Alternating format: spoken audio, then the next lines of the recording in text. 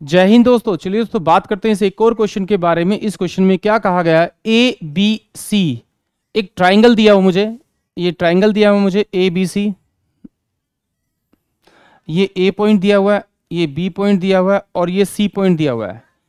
A B बराबर दे रखा है ए सी का। यानी कि ये वाली साइड और ये वाली साइड क्या दे रखी है? मुझे इक्वल दे रखी है। O is the is a point on B C B C पर पॉइंट है जो ओ बी बी ओ और सी ओ बराबर बराबर करेगा। यानी कि ये पॉइंट जो दे रखा है मुझे ओ और ये वाली साइड और ये वाली साइड बराबर की ये आइसोलेस ट्राइंगल है। इसको यहाँ पर हम बाइसेक्ट करेंगे। तो ये बाइसेक्ट करेंगे तो ये मेरे पास क्या होगा? इसकी मीडियन भी होगी और इसका ये परपेंडिकुलर भी होगा।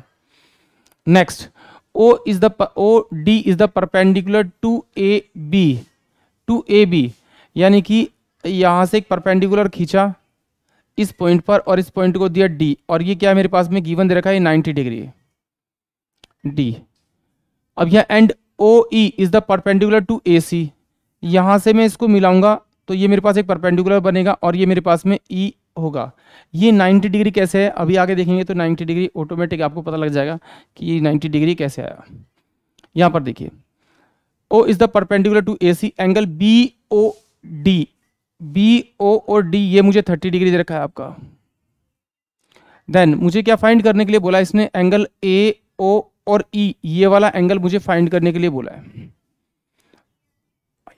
अब देखिए यहाँ पर जरा। ये थर्टी है ये नाइनटी है तो इसका मतलब ये सिक्सटी होगा। और ये साइड इसके बराबर दे रखी इसका मतलब ये सिक्सटी होगा। और ये सिक्सटी है ये तो ये ये मेरे पास नाइन्टी होगा ये मेरे पास थर्टी होगा। अगर इस पूरे ट्राइंगल के अंदर दो एंगल मेरे सिक्सटी सिक्सटी हैं तो ये वन ट्वेंटी होगा ये ऑलरेडी मेरे पास कितना होगा आपका सिक्सटी होगा। और ये मेरे पास क्या बन गया इक्वलेटर ट्राइंगल और इक्वलेटर ट्राइंगल के अंदर जो मीडियन होती है, वो परपेंडिकुलर की तरह भी बिहेव करती है।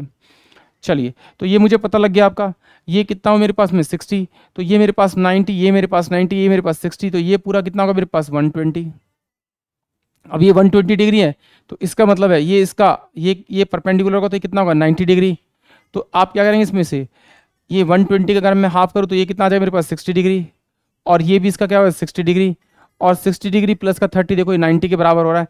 यानी कि इसका जो आंसर आएगा, वो कितना आएगा? आपका 60 डिग्री। यानी कि ऑप्शन जो टू होगा, वो इस क्वेश्चन का करेक्ट होगा। आई होप आप सभी को ये क्वेश्चन समझ में आया होगा। जय हिंद, जय भारत।